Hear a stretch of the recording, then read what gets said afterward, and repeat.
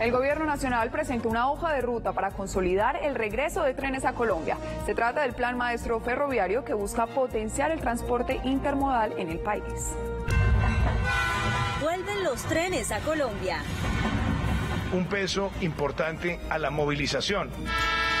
El gobierno nacional presentó el plan maestro ferroviario y según el presidente Iván Duque, en medio de la pandemia servirá como otra herramienta de reactivación y desarrollo para Colombia.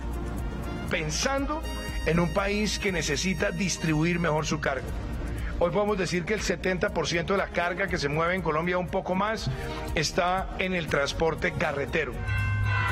Y aunque parezca un transporte del pasado, el primer mandatario de los colombianos destaca su funcionalidad para el territorio nacional.